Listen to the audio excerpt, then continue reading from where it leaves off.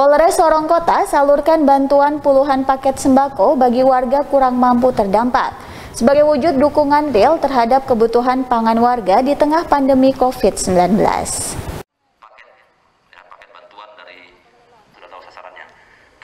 Polres Sorong Kota Jumat malam salurkan bantuan berupa puluhan paket 9 bahan pokok bagi warga kurang mampu terdampak pandemi COVID-19.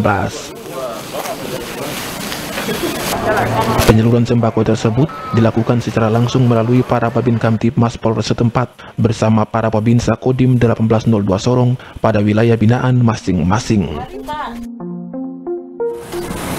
Selain membagikan sembako, dalam agenda yang sama pun juga dilakukan patroli skala besar pada wilayah hukum Polres Sorong Kota guna dekatkan diri sekaligus memberikan rasa nyaman bagi warga masyarakat melalui jaminan kondusivitas Kamtipmas di Kota Sorong.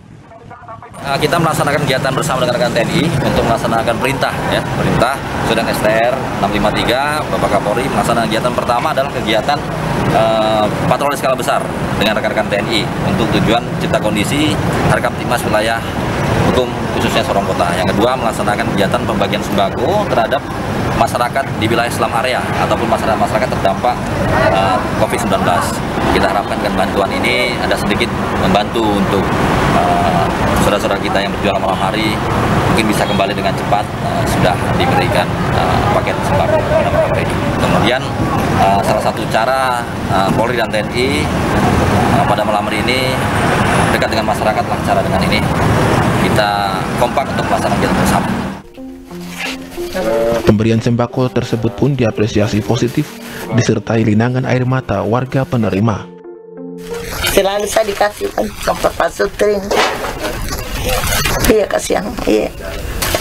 Sebelum saya dikasih yang bisa dibantu selama ini dengan PPKN supaya saya bisa hidup juga. Ya, Alhamdulillah.